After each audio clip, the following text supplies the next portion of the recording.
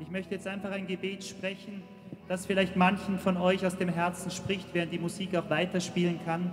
Dann werden wir in Sprachen beten.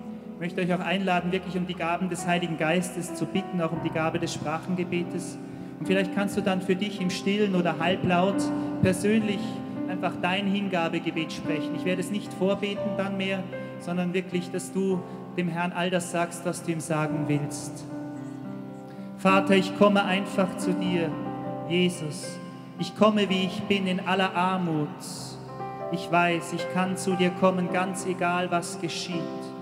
Ich komme, um neu deine Gnade und Barmherzigkeit zu suchen.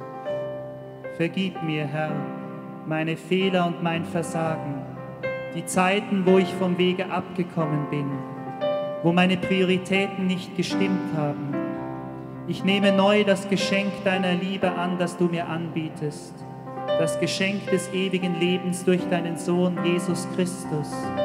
Ja, ich rufe und bekenne Jesus heute neu als den Herrn meines Erlebens, meinen Heiland, meinen Retter, meinen Freund. Vater, ich möchte heute neu beginnen. Sende deinen Heiligen Geist, um mein Herz neu zu füllen. Lass das Feuer deines Geistes mein Herz reinigen. Ergreife mein Herz mit dem Feuer deiner Liebe. Komm, Heiliger Geist, wie damals im Obergemach zu Jerusalem.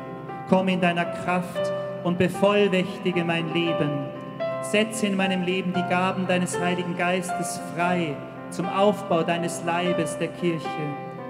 Entfache in mir ein brennendes Verlangen nach täglicher Gemeinschaft mit dir Setze die Gabe des echten, beharrlichen Gebetes in mir frei, in meiner Familie, in meiner Ehe, in meinen Freundschaften, in meiner Gebetsgruppe und benutze mich als Instrument für den Aufbau deines Reiches durch Christus, meinen Freund und unseren Herrn.